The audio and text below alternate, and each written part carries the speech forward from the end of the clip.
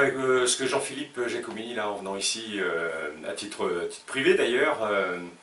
nous a apporté, c'est, je pense d'abord, c'est un, un puits de science. Il arrive avec des idées très claires sur l'harmonisation de la locomotion.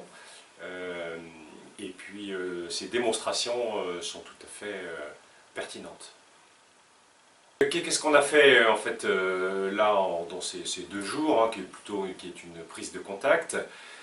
euh, c'est, on va dire, on a fait beaucoup de travail à pied en utilisant euh, l'endo-tapping pour relaxer euh, certains chevaux qui avaient tendance à, se contracter. et puis on a pris conscience de, dire, la mobilisation des antérieurs, de voir que dès que le cheval s'appuyait, enfin le cheval se, retient sur les antérieurs et d'augmenter, la vitesse de levée des antérieurs, euh, enlève euh, des résistances et, on va dire par le cheval, puisqu'on voit très bien que les chevaux, euh, très rapidement, dès qu'ils ont compris, changent, changent de locomotion, changent d'attitude. On a aussi travaillé des chevaux montés, alors sur les, j'allais dire, des principes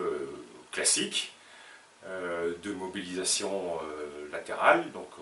en, isolant, entre guillemets, les épaules, puis les hanches, et en cherchant, euh, dans la même idée, une mobilisation euh, du jeu des épaules et, euh, du, jeu, du jeu des postérieurs. je veux dire, des, points clés, je dire qu'on a, des points clés, il y en a plusieurs, mais j'ai bien retenu la notion d'avancer dans la flexion. Un cheval se fléchit d'un côté, a une tendance à enterrer, à, raccourcir euh, le jeu de ses antérieurs et dès que le cheval comprend que dans la flexion il, doit et il peut avancer, euh, je dirais, change pratiquement globalement euh, d'attitude. Sur le, rôle de l'éperon, il nous a montré ce qu'on appelle l'effet d'ensemble, l'effet d'ensemble qui a été donc défini par Boucher mais dont on ne sait pas vraiment comment il le faisait. il, il, a introduit cette notion de façon progressive, euh, en, utilisant, j'allais dire, d'abord un éperon intérieur, en épaulant dedans, et puis en fermant l'éperon extérieur, le cheval s'arrête et on repart sur les éperons. L'effet d'ensemble, euh, il utilise, enfin les éperons, on va dire les jambes, hein, euh, pour mobiliser les épaules. Donc grâce à ça, dans la continuité du travail en main, et pour éviter que le cheval se, freine sur son épaule, en général l'épaule gauche sur la grande, grande majorité des chevaux qu'on a vus, eh ben, on fait pareil euh, avec, euh, avec les jambes, donc en cherchant soit à lever, soit à accélérer le jeu euh, d'une des deux épaules, mais en particulier la gauche. Toujours dans les, questions techniques,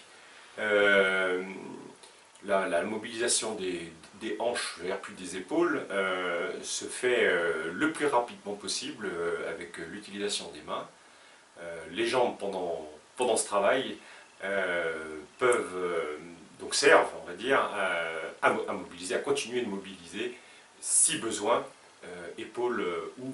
ou, hanches encore un petit peu. Donc progressivement, avec ce travail-là, on, on, arrive